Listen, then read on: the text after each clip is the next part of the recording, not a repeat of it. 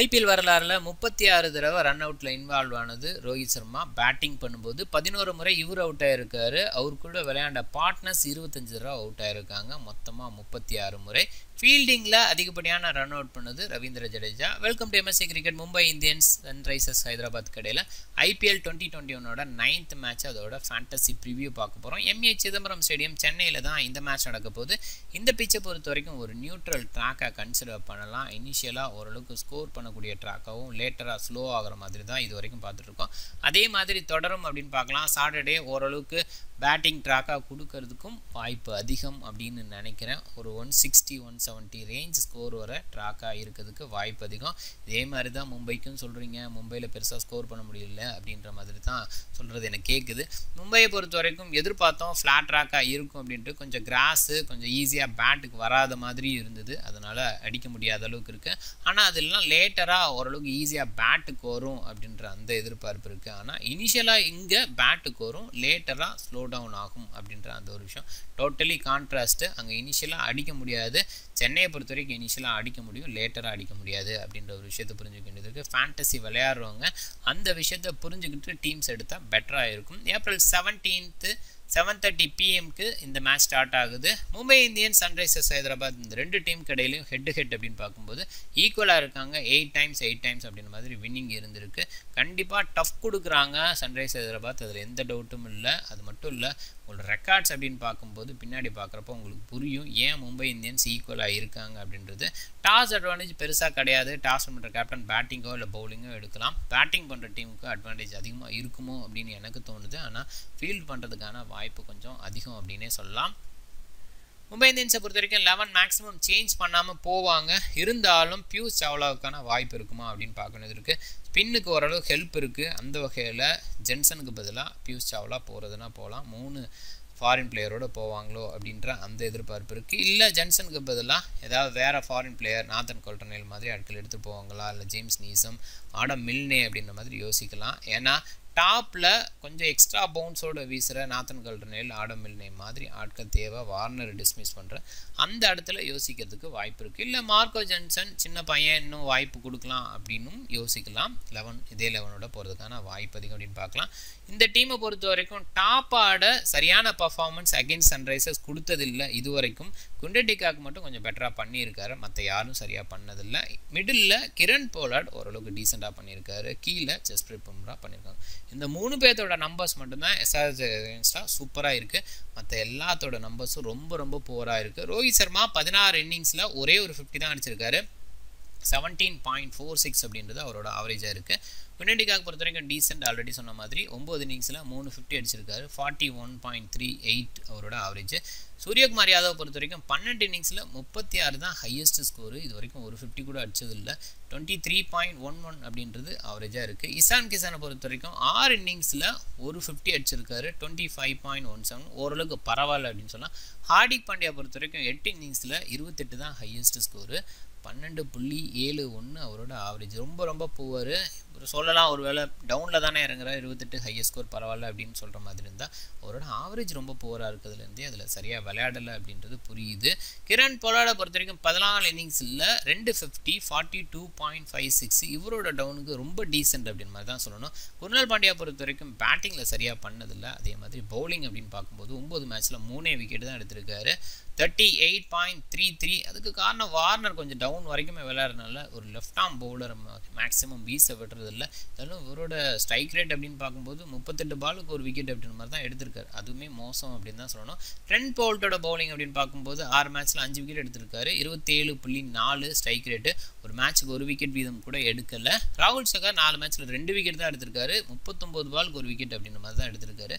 ஜஸ்பிரீத் பும்ரா பொறுத்த வரைக்கும் பத்து மேட்ச்சில் பன்னெண்டு விக்கெட் ஓரளவுக்கு பரவாயில்லன்னு சொல்லலாம். த்ரீ பர் டுவெண்ட்டி ஃபோர் அப்படின்றது அவரோட பெஸ்ட்டாக இருக்குது இந்த டீம் பொறுத்த வரைக்கும் நான் ஆல்ரெடி சொன்ன மாதிரி டாப் ஆர்டர் அதே மாதிரி பாட்டமில் பவுலர்ஸ் அப்படின்ற வகையில் சன்ரைசர்ஸ்க்கு எகென்ஸ்டாக பெருசாக பண்ணது இல்லை. சன்ரைசர்ஸ் ஹைதராபாத்தை பொறுத்த வரைக்கும் அதே லெவன் இருப்பாங்களா அப்படின்னா சில சேஞ்சஸ் தேவைப்படுது. தோற்றுருக்காங்க கண்டிப்பாக சேஞ்ச் பண்ணணும் அப்படின்ற எண்ணம் இருக்கும். அது மட்டும் இல்லை நிறைய லெஃப்ட் ஹேண்டர்ஸ் இருக்காங்க. ரெண்டு லெக்கியை வச்சுட்டு போக மாட்டாங்க. ரஷீத் கான் இன்னொரு சைடு நதீம் அப்படின்ற மாதிரி. ப்ராபப்ளி சேஞ்ச் பண்ணுவாங்க. அந்த வகையில் நபி உள்ளே வந்தால் பெட்டராக இருக்கும். இல்லை முஜிபூருக்கு போவாங்களா அப்படின்னு யோசிக்குது முஜிபூரை பொறுத்த வரைக்கும் பேட்டிங் பெருசாக இல்லை. ஓரளவுக்கு டீசெண்டாக விளையாடுவார். அது ஒரு விஷயம். இருந்தாலும் குவாலிட்டியான பேட்டிங் அப்படின்னு பார்க்கும்போது நபியை உள்ளே கொண்டு வரலாம். நபியை உள்ளே கொண்டு வரும்போது ஜேசன் ஹோல்டரை வெளியில் எடுக்கிறதா இல்லை ஜானி பைஸ்டா வெளியில் எடுக்கிறதா அப்படின்ற அந்த கேள்வி வருது. பாசிபிளி ஜானி பைஸ்டா வெளியில் எடுத்துட்டு நபியை உள்ளே கொண்டு வரதுக்கான வாய்ப்பு இருக்குது இல்லை ஜேசன் ஹோல்டர் வெளியில் எடுத்துகிட்டு நபியை உள்ளே கொண்டு வரதுக்கும் வாய்ப்பு இருக்குது இங்கே அந்த ஒரு வகையில் மட்டும் பார்க்க வேண்டியது இருக்குது இங்கே ஏன்னா off break bowler Indian bowlers யாராவது இருந்தால் உள்ளே எடுத்துகிட்டு வரலானாலும் அப்படி யாரும் இல்லை. சிஜித் இருக்கார் அவரும் பார்த்தீங்கன்னா லெஃப்ட் ஆன் ஸ்பின்னர் தான். அந்த வகையில் நதியுமே பரவாயில்லன்ட்டு போயிடலாம். ப்ராபப்ளி சேஞ்ச் கண்டிப்பாக எதிர்பார்க்கலாம். ஒரு சேஞ்சுக்கு ரெண்டு சேஞ்சாக இருக்கும். சந்தீப் சர்மா உள்ளே வந்துட்டு அப்படி பார்க்கலாம். இல்லை எக்ஸ்ட்ரா பேட்ஸ்மேன் கேதார் ஜாதவ் மாதிரி ஆட்களை உள்ளே கொண்டு வரலாம் அப்படின்னு யோசிக்கலாம். விராட் சிங் இருக்கார் பிரேம் கார்க் இருக்கார். இந்த மாதிரி பேட்ஸ்மேன்ஸ்க்கு வாய்ப்பு கொடுக்கறதுக்கும் சான்ஸ் இருக்குது அப்படின்னு பார்க்கலாம். இதமான் சாஹா டேவிட் வார்னர் ரெண்டு பேரும் தான் ஓப்பன் பண்ணுவாங்க. அதே மாதிரி மணிஷ் பாண்டே மூணு பேர். இந்த மூணு பேரும் பார்த்தீங்கன்னா டாப்பில் செம்ம பர்ஃபார்மன்ஸு மும்பை இந்தியன்ஸுக்கு எகென்ஸ்டாக கொடுத்துருக்காங்க. அவங்களோட ரெக்கார்ட் சொல்லுது. பன்னெண்டு இன்னிங்ஸில் Wriddhiman Saha ninety three highest score வச்சுருக்காரு. Forty three point five out ஒரு ரேஞ்சுக்கு கண்டிப்பாக பெட்டரான ஒரு இதுன்னு சொல்லிடலாம். இவரை பொறுத்த வரைக்கும் செம்ம பர்ஃபார்மன்ஸ் அகேன்ஸ்ட் மும்பை கொடுத்துருக்காரு. டேவிட் வார்னர் பதினெட்டு இன்னிங்ஸில் ஆறு fifty ninety not out highest ஸ்கோராக இருக்கார். Forty four point six four நல்ல ஒரு ஆவரேஜ் அப்படின்ற மாதிரியே பார்க்கலாம். மணிஷ் பாண்டே பொறுத்த வரைக்கும் பதினெட்டு இன்னிங்ஸில் அஞ்சு ஃபிஃப்டி எண்பத்தி ஒன்று நாட்டோட highest score thirty six point one three அப்படின்றது அவரேஜாக இருக்குது ரொம்ப ரொம்ப சூப்பராக விளையாண்டுருக்காங்க அகெயின்ஸ்ட் மும்பை. இவங்களோட டாப் ஆர்டர் அந்த சைடு டாப் ஆர்டர் ரொம்ப ரொம்ப சொதப்பலாக இருக்குது ஆனால் சன்ரைசர்ஸோட டாப் ஆர்டர் செம்ம பர்ஃபார்மன்ஸ் கொடுத்துருக்காங்க. பவுலர் சைடு அப்படின்னு பார்க்கும்போது ரஷீத் கான் சூப்பர் பவுலர் இப்போதே ஃபார்ம் அப்படின்றது கண்டிப்பாக இந்த நம்பர்ஸ்லாம் எடுத்துக்காது அப்படின்னே சொல்லலாம். எட்டு மேட்ச்சில் எட்டு விக்கெட் தான் எடுத்திருக்காரு. டூ பர் லெவன் அப்படின்றது அவரோட பெஸ்ட்டாக இருக்குது புவனேஸ்வர் டீசெண்டாக பவுல் பண்ணியிருக்காரு. ஓவரால் இந்த யூனிட் அப்படின்னு பார்க்கும்போது ஸ்ட்ரைக் ரேட்டில் பெட்டராக பார்க்கலாம். புவனேஸ்வர் இந்த யூனிட்டை மட்டும் சொல்லலாம் மும்பை இந்தியன்ஸ் ஓவரால் அப்படின்னு பார்க்கும்போது ஸ்ட்ரைக் ரேட் பெட்டராக வச்சிருக்கிறது புவனேஸ்வர் குமார் அப்படின்னு தான் சொல்லணும். பதினாலு மேட்ச்சில் பதினெட்டு விக்கெட் எடுத்திருக்காரு. பதினஞ்சு புள்ளி ஆறு ஏழு ஸ்ட்ரைக் ரேட்டாக இருக்குது சந்தீப் சர்மா பொறுத்த வரைக்கும் இந்த மேட்ச்சில் இருந்தால் கொஞ்சம் பெட்டராக இருக்கும். போன மேட்சே சொல்லியிருந்தோம் ஒரு சின்ன சைக்கலாஜிக்கல் அட்வான்டேஜ் இருந்திருக்கலாம் அகெயின்ஸ்ட் கோலி ஆர்சிபி அப்படின்ற வகையில். சந்தீப் சர்மா மிஸ் பண்ணாங்க. ஸோ ப்ராப்ளி மறுபடியும் உள்ளே கொண்டு வரதுக்கான வாய்ப்பு கொஞ்சம் அதிகம் அப்படின்ற மாதிரியே பார்க்குறேன். பதினஞ்சு மேட்ச்சில் பத்தொம்பது விக்கெட் எடுத்திருக்காரு. பதினாறு புள்ளி ஏழு ரெண்டு அவரோட ஸ்ட்ரைக் ரேட்டாக இருந்திருக்கு. நடராஜன் பொறுத்த வரைக்கும் ரெண்டு மேட்ச் விளாண்டு ரெண்டுலேயுமே விக்கெட் லெஸ்ஸாக இருந்திருக்காரு. ரன்ஸும் அதிகமாக கொடுத்துருக்காரு. எயிட் பாயிண்ட் த்ரீ எயிட் அப்படின்றது எக்கனாமியாக இருந்திருக்கு.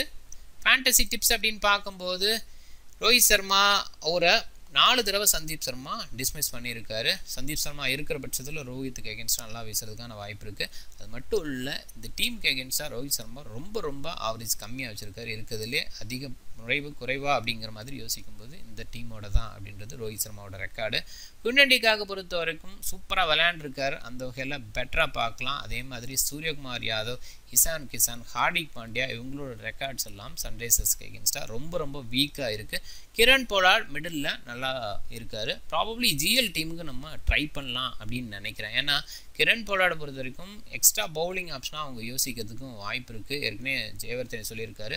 Sixth bowling option Kieron Pollard தான் இருப்பார் அப்படின்னு. ஸோ அந்த வகையில் Kieron Pollard one or two wickets middle ஓரளவுக்கு ஸ்கோர் பண்ணார்னா டாப் ஆர்டர் ஃபெயில் ஆகிற பட்சத்தில் உங்களுக்கு பெட்டராக இருக்கலாம். ஜிஎல்ல இந்த மாதிரி முறைகளை நீங்கள் கையாளலாம் அப்படின்னு நினைக்கிறேன். குர்னல் பாண்டியா பொறுத்த வரைக்கும் கொஞ்சம் பெட்டராக பார்க்கலாம். ஏன்னா இந்த சைடு நபி இல்லாத பட்சத்தில் இப்போ நபியை வச்சு தான் நான் சொல்லியிருக்கேன். நபி இல்லாமல் இருக்கும்போது கண்டிப்பாக ஸ்பின்னர்ஸ் அப்படின்ற லெஃப்ட் ஆர்ம் ஸ்பின்னர் இன்னொரு சைடு லெக்கி அப்படின்ற மாதிரி தான் இருப்பாங்க. அந்த இடத்துல குணால் பாண்டியா பெட்டராக விளையாடுறதுக்கான வாய்ப்பு இருக்குது கொஞ்சம் ப்ரொமோஷன் கிடைக்கும் வாய்ப்பு இருக்குது இசான் கிசான் அவுட் ஆகிற பட்சத்தில். அவர் இருந்தால் லெஃப்ட் ரைட் காம்பினேஷனை மெயின்டைன் பண்ணுவாங்க. இசான் கிசான் இனிஷியலாக அவுட் ஆகிட்டார் அப்படின்னு சொன்னால் குணால் பாண்டியாவை கொஞ்சம் ப்ரொமோட் பண்ணுறதுக்கும் வாய்ப்பு இருக்குது left right combi left hand batsman அப்படின்ற அந்த முறையில். ரஷீத் கானை பொறுத்த வரைக்கும் பெட்டராக பவுல் பண்ணிகிட்ருக்காரு இந்த இதை பொறுத்த வரைக்கும் ப்ரீவியஸ் ரெக்கார்ட் அதெல்லாம் கன்சிடர் பண்ணாமல் போனால் ரொம்ப பெட்டராக இருக்கும். புவனேஸ்வர் குமார் இவங்களுக்கு எகென்ஸ்டாக ரொம்ப ரொம்ப சூப்பராக பவுல் பண்ணியிருக்கார். அந்த வகையிலையும் பார்க்கலாம். மணிஷ் பாண்டே அப்படின்னு பார்க்கும்போது ஹார்டிக் அண்ட் பொலாடு தவிர வேறு யார்கிட்டையும் டிஸ்மிஸ் ஆனது கிடையாது. அதை நம்ம பார்க்க வேண்டியது இருக்குது டேவிட் வார்னர் கரண்ட்டில் இருக்க எந்த பவுலராலையும் டிஸ்மிஸ் ஆகலை. அது ரொம்ப முக்கியமான விஷயம். பும்ராவோ ஜஹரோ போல்ட்டோ ஜன்சனோ குர்னல் பாண்டியா அந்த மாதிரி யாராலையும் டிஸ்மிஸ் ஆகலை. ஹைட்டாக இருக்க பவுலர்ஸால் டிஸ்மிஸ் ஆகிருக்காரு மெக்லநகர்னால டிஸ்மிஸ் ஆகிருக்காரு அதே மாதிரி பார்க்கும்போது கால்டர்னேல் அவர் மூலமாக டிஸ்மிஸ் ஆகிருக்காரு ஆனால் இப்போ இருக்கிற பவுலர்ஸ் மூலமாக பண்ணலை அப்படின்றத நம்ம புரிஞ்சுக்க வேண்டியது இருக்குது இல்லை ஹார்டிக் பாண்டியாவும் பார்த்தீங்கன்னா பவுல் பண்ணாமல் இருக்கிறதுனால ஸோ இன்னும் எக்ஸ்ட்ரா பவுன்ஸ் வீசி வீடு எடுக்கிறதுக்கு ஆள் இல்லை. இனிஷியலாக ஓரளவுக்கு டேவிட் வார்னா நல்லா விளையாட வாய்ப்பு இருக்குது மேபி அதை ட்ரை பண்ணலாம். போல்ட் ஏதும். போல்ட்டுக்கு எக்ஸ்ட்ரா பவுன்ஸ் கிடைச்சா ஆனால் சென்னை பிச்சில் அந்த எக்ஸ்ட்ரா பவுன்ஸ் கிடைக்குமா அப்படின்றது தான் கொஷின் இருக்குது கொஞ்சம் அடித்து போட்டால் ஓரளவுக்கு நல்லாவே ஆடிடுவார் அந்த வகையிலையும் வார்னரை பார்க்க வேண்டியது இருக்குது அதனால் பெட்டராக வார்னர் அண்ட் மணிஷ் பாண்டே பார்த்துருக்கேன். அதனால தான் நான் கேப்டன் வைஸ் கேப்டன் கூட என்னோட டீமில் வார்னர் அண்ட் மணிஷ் பாண்டே தான் போட்டிருக்கேன். இங்கே கேப்டன் வைஸ் கேப்டன் அப்படி பார்க்கும்போது Rohit Sharma Quinton de Kock Suryakumar Yadav அப்படி மாதிரி சேஃபாக பார்க்கலாம். மேக்ஸிமம் பீப்புள் உங்களுக்கு போயிருக்கனால சேஃப்னு சொல்லியிருக்கேன். மற்றபடி அவங்களோட ரெக்கார்ட்ஸ் ரொம்ப போவராக தான் இருக்குது இன்றைக்கி ஏதாவது மாறும். ஏன்னா பழைய ரெக்கார்டு அப்படிங்கிறது வந்து ஒரு சின்னதாக சைக்காலஜி அட்வான்டேஜ் அப்படின்ற மாதிரி தான் பார்க்கலாம். ஏன்னா ரீசெண்டாக நான் சொல்லியிருந்தேன் சஞ்சு சாம்சன் வந்து ரெண்டாவது மேட்ச்சு அது ஒரு பர்டிகுலர் டீமு சரியாக பர்ஃபார்ம் பண்ண மாட்டார். நேற்று கூட ராகுல் சொல்லியிருந்தேன். அதே மாதிரி மா மாயங்க் அகர்வால் சொல்லியிருந்தோம். ஸோ அந்த எல்லாமே பார்க்கும்போது அந்த ப்ரீவியஸ் ரெக்கார்டு அப்படின்றது ஒர்க் ஆகுது. சைக்காலஜிக்கலாக கொஞ்சம் பெட்டராக ஃபீல் ஆகுது. ஸோ அந்த வகையில் நம்ம வந்து கொஞ்சம் சேஃபாக போகிறது பெட்டர் அப்படின்றது தான். அது ஃபேண்டஸியில் வராங்க. குறிப்பாக வந்து ஸ்மால் லீக் விளையாடுறவங்களுக்கு சின்னதாக சப்போர்ட்டாக இருக்கும் அப்படின்றதெல்லாம் இந்த விஷயங்களை நம்ம ஆட் பண்ணுறோம் டேவிட் வார்னர் மணிஷ் பாண்டே ரஷித் கான் கொஞ்சம் பெட்டர் சேஃபாக பார்க்கலாம். ரிஸ்கி அப்படின்னு பார்க்கும்போது இசான் கிசான் ஜஸ்பிரீத் பும்ரா. இசான் கிசான் பொறுத்த வரைக்கும் டாப் ஆர் ஃபெயில் ஆகிற பட்சத்தில் அவர் கொஞ்சம் நேரம் நின்று விளையாட வாய்ப்பு இருக்குது ஜஸ்பிரீத் பும்ரா பொறுத்த வரைக்கும் பெட்டர் ரெக்கார்டு வச்சுருக்காரு. அதனால் பார்க்கலாம். பர்சன்டேஜாக இப்போதைக்கு கம்மியாக எடுத்திருக்காங்க. முகமது நபி பொறுத்த வரைக்கும் இருக்கிற பட்சத்தில் கண்டிப்பாக நல்ல சாய்ஸு ஆனால் இங்கே சன்ரைசர்ஸோட டீம் நான் சொல்கிற டீம் இருக்கும் அப்படின்னு எதிர்பார்க்க முடியாது. இருந்தால் நல்லாயிருக்கும் அப்படின்ற அந்த மைண்டில் தான் நான் சொல்லியிருக்கேன். ஜேசன் ஹோல்டரை பொறுத்த வரைக்கும் கண்டிப்பாக போல் பண்ணுவார். அதே நேரத்தில் பேட்டிங் சான்ஸ் கிடைச்சாலும் பெட்டராக பண்ணுறதுக்கு வாய்ப்பு இருக்குது என்னோட டீமை ஷோ அந்த டீம் பொறுத்த வரைக்கும் கேப்டன் மணிஷ் பாண்டே கேச்சிங் பொசிஷனில் நிற்கிறாரு நிறைய கேச்சஸ் பிடிக்கிறாரு. அது மட்டும் இல்லை பேட்டிங்லேயும் ஓரளவுக்கு டீசெண்டாக ஸ்ட்ரைக் ரேட் கம்மியாக இருந்தாலும் நமக்கு தேவையான பாயிண்ட்ஸ் எடுத்து கொடுத்துறாரு. வார்னர் பொறுத்த வரைக்கும் கண்டிப்பாக இந்த டீமில் அவுட் பண்ணுறதுக்கு இது வரைக்கும் பண்ணதில்லை ஆள் இல்லைங்கிற மாதிரியே பார்க்கலாம். உம்ரா எக்ஸ்ட்ரா பவுன்ஸோ இல்லை போல்ட் எக்ஸ்ட்ரா பவுன்ஸோ க்ரியேட் பண்ணி பாடி லைனில் போட்டால் மட்டும் அவுட் ஆக வாய்ப்பு இருக்குது ஏன்னா ஸ்லோயர் பிச்சில் பொதுவாகவே வார்னர் ஈஸியாக விளையாடுவார். ஃபஸ்ட்டு மேட்ச்சு அன்ஃபார்ச்சுனேட் அவுட் ஆகிட்டார் பிரசித் கிருஷ்ணாவுக்கு. ஆனால் கண்டிப்பாக நல்லா விளையாடுறதுக்கான வாய்ப்பு கொஞ்சம் அதிகம் அப்படின்னு பார்க்கலாம். நியூ பால் கொஞ்சம் ஈஸியாக பேட்டுக்கும் வரும் அப்படின்னால வார்னர் கொஞ்சம் பெட்டர் சாய்ஸாக பார்க்கலாம். ரோஹித் சர்மா எடுக்காமல் இருக்கேன். கிரெடிட் இஷ்யூ அந்த வகையிலையும் பார்க்கலாம். அதே நேரத்தில் இந்த டீம் கேகன்ஸாக சரியான பர்ஃபார்மன்ஸ் இல்லை. ஆரம்பத்தில் டெக்கானில் இருந்தார். மேபி லக்ஷ்மண் மாதிரி ஆட்கள் அவரோட வீக்னஸை புரிஞ்சுக்கிறாங்க. அதுக்கு தகுந்த மாதிரி பவுல் பண்ண வைக்கிறாங்களா அப்படின்றதெல்லாம் தெரியல. பட் அங்கே வந்து சரியாக பர்ஃபார்ம் பண்ணல அப்படின்ற அந்த ஒரு விஷயத்தை புரிஞ்சுக்கிறது இருக்குது சூரியகுமார் யாதவும் அதே மாதிரி தான். ஓரளவுக்கு டீசெண்டாக இப்போதைக்கு பண்ணிகிட்டு இருக்கார். இப்போ இருக்கிற ப்ரைம் டச் அவருக்கு கான்ஃபிடன்ட் கொடுக்கும் அப்படின்னால அவர் நான் எடுத்திருக்கேன். டிகாக்கை பொறுத்த வரைக்கும் பெட்டராக பண்ணியிருக்கேன். அது மட்டும் இல்லை டாப் ஆர்டர் கொஞ்சம் பெட்டர் ஸ்கோரோ இல்லை வந்து விக்கெட் கீப்பிங்கில் சில பாயிண்ட்ஸோ நமக்கு எடுத்து கொடுக்க வாய்ப்பு இருக்குது நபியை பொறுத்த வரைக்கும் இருக்கிற பட்சத்தில் கண்டிப்பாக சூப்பர் சாய்ஸு லெஃப்ட் ஹேண்டதுக்கு அகேன்ஸ்டாக அது மட்டும் கொஞ்சம் டாப்பில் இறங்கவும் செய்வார். சில ஸ்கோர் அடிக்கிறதுக்கும் வாய்ப்பு இருக்குது ஜேசன் ஹோல்டை பொறுத்த வரைக்கும் விக்கெட் டேக்கிங் போல் இவங்க டீமுக்கு ஓரளவுக்கு சிறப்பாக பண்ணிகிட்டு இருக்காரு. குர்னல் பாண்டியா பொறுத்த வரைக்கும் இந்த சைடு நபி இல்லாத பட்சத்தில் நல்ல சாய்ஸாக பார்க்கலாம். ஏன்னா இங்கே ஆஃப் பிரேக் பவுலர் கிடையாது. அந்த நேரத்தில் முஜீப் எதுவும் வந்தால் மட்டும்தான் யோசிக்கணும். மற்றபடி குணல் பாண்டியா ஓரளவுக்கு ஸ்கோர் பண்ண வாய்ப்பு இருக்குது அப்படின்ற மாதிரி பார்க்கலாம். பிச்சும் ஓரளவுக்கு அசிஸ்ட் கொடுக்குது. சென்னை பிச்சில் செம்மையான ஸ்ட்ரைக் ரேட் அண்ட் செம்மையான ஆவரேஜ் எக்கனாமி ரொம்ப ரொம்ப கம்மியாக கொடுத்து பண்ணியிருக்காரு. அந்த வகையில் குணல் பாண்டியா பெட்டராக பார்க்கலாம். புவனேஸ்வர் குமார் இந்த டீமுக்கு எகென்ஸ்டாக பெட்டரான ஒரு ஸ்ட்ரைக்கில் இருக்கார். அந்த வகையில் பெட்டராக பார்க்கலாம். ஜஸ்பிரிம் பும்ரா பொறுத்த வரைக்கும் ப்ரைம் பவுலில் கண்டிப்பாக தேவை. போன மேட்ச்சை பொறுத்த வரைக்கும் விக்கெட்லெஸ்ஸாக போனார். ஆனால் ஓரளவுக்கு டீசெண்டாக பவுல் பண்ணார். அதில் எந்த மாற்றம் இல்லை. இந்த மேட்ச் அதிகமான விக்கெட் எடுக்கும் வாய்ப்பு இருக்குது ரசித் கானை பொறுத்த வரைக்கும் விக்கெட் டேக்கிங் பவுலில் அதே நேரத்தில் எக்கனாமியாகவும் வீசிடுறாரு. ராகுல் சகாரை பொறுத்த வரைக்கும் போன மேட்சோட இம்பேக்ட் எடுத்துருக்க வச்சிருக்கு. பிச்சும் ஓரளவுக்கு பின்னஸ் அசிட்ஸ் கொடுக்குங்கிற நம்பிக்கையில் எடுத்திருக்கேன். கேம் டாஸ் ஆப்பு உங்களோட ஃப்ரெண்ட்ஸை ரெஃபர் பண்ணுங்கள் hundred rupees referral bonus plus twenty percentage affiliate commission அப்படின்னு மாதிரி கொடுக்குறாங்க. உங்களோட மொதல் டெபாசிட்டுக்கு ஹண்ட்ரட் பர்சன்டேஜ் போனஸ் கொடுக்குறாங்க. அதாவது டென் தௌசண்ட் நீங்கள் டெபாசிட் பண்ணிங்கன்னா டென் தௌசண்ட் உங்களோட போனஸாக அடிஷ்னலாக ஆட் ஆகும்.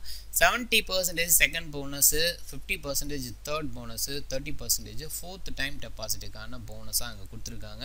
டீசெண்டான கான்டெஸ்ட் நடத்திட்டு இருக்காங்க. ஐபிஎல் டுவெண்ட்டி டுவெண்ட்டியில் ஃபார்ட்டி ஃபைவ் ருபீஸு நீங்கள் பே பண்ணி கான்டெஸ்ட் விளாண்டிங்கன்னா நைன் நைன் நைன் நைன் அது ஃபோர் டைம் நைனுக்கான அமௌண்ட்டு கிடைக்கும். டேக்ஸ் ஃப்ரீயாக இருக்கும் அப்படின்றதுல டவுட்டே இல்லை. சூப்பராக இருக்குது தமிழ்நாட்டில் தடை. மற்ற ஸ்டேட் பீப்புள் யூஸ் பண்ணி பாருங்கள் கண்டிப்பாக நல்லா இருக்கும் அப்படின்ற நம்பிக்கை எனக்கு இருக்குது இதோட இந்த வீடியோ முடியுது. இந்த வீடியோ பிடிச்சிருந்தா லைக் பண்ணுங்கள் உங்கள் ஃப்ரெண்ட்ஸுங்களுக்கு ஷேர் பண்ணுங்கள் உங்கள் கமெண்ட் செக்கில் போஸ்ட் பண்ணுங்கள் சேனலை சப்ஸ்கிரைப் பண்ண மறக்காதீங்க. மிக்க நன்றி.